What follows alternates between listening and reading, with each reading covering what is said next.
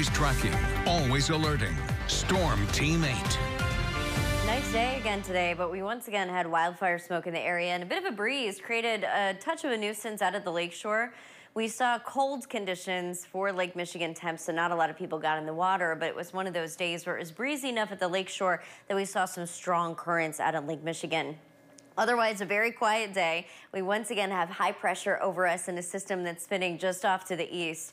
This has been a stuck weather pattern, and at most, we tried to squeak out a shower today, but it was very few and far between, and it had a problem making it to the ground. So here's what we're tracking. Our stuck pattern finally becomes unstuck this weekend, and we begin to see some movement. Rain is most likely on Sunday. A good portion of your Saturday, if not your entire Saturday, should be dry.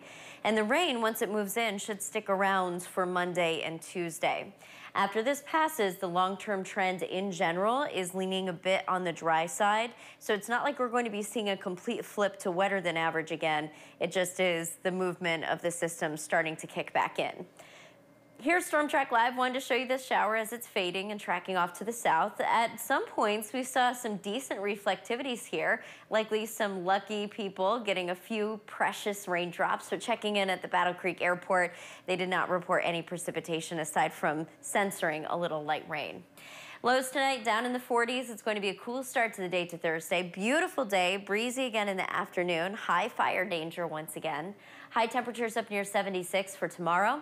And then Friday, another comfortable day. High temperatures in the upper 70s. Should be seeing a few clouds from time to time.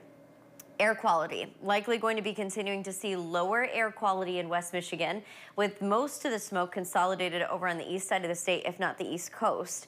Here's a fresh look at the smoke plume and you can see we're smack dab in the center of it again.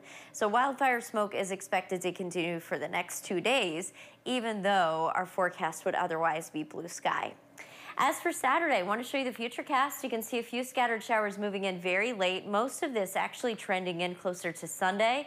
Sunday starts a little on the dry side, but right now shower activity looks like it should be moving in through the heart of the day. And in terms of amounts, again, looking pretty promising that we should at least pick up a half an inch, if not a full inch of fresh rainfall Sunday, Monday into Tuesday.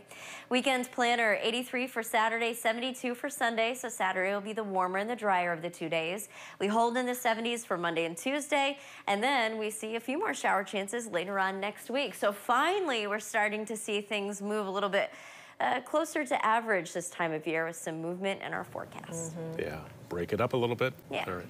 Thanks, Ellen.